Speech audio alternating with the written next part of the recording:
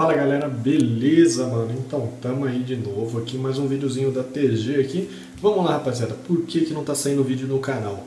Então galera, como vocês sabem mano, eu já voltei aqui, passei de ano até que enfim mano, agora é terceiro ano.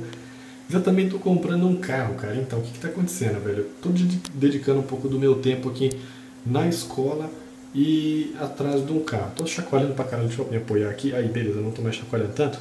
Ok, então é por esse motivo que eu não estou tendo tempo de gravar, velho. Não tô tendo muito tempo de gravar. Espero que todo mundo entenda, galera.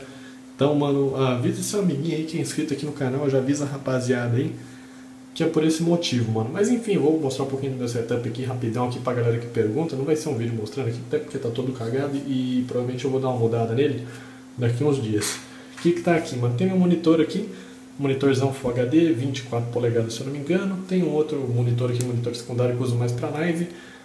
Microfone, também é um microfone que eu uso para gravar. Meu headset, meu, meu fone alternativo é um Charles, tá ali uns trofézinhos, uma outra coisa ali, um chamado, blá blá blá.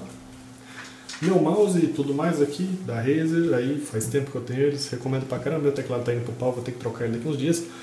Minha internet e por fim meu computador tá aqui, mano. Pra quem nunca viu meu PC aqui, o radiadorzão dele, deixa eu abrir a tamposa aqui do, da máquina que tem a meia aqui pra que fica aqui na bomba, mano, que pra ela não vibrar tanto e tudo mais. Minha placa de vídeo ali é um RX 470. É isso aí mesmo, acho que é um RX 470, nem me lembro. Olha, até ativou o coolerzinho ali, viu vocês? Mas enfim, rapaziada, é basicamente isso. É aqui onde eu gravo, aqui onde eu faço as lives, aqui onde eu faço tudo. É a central de comando da Total Games. O quartel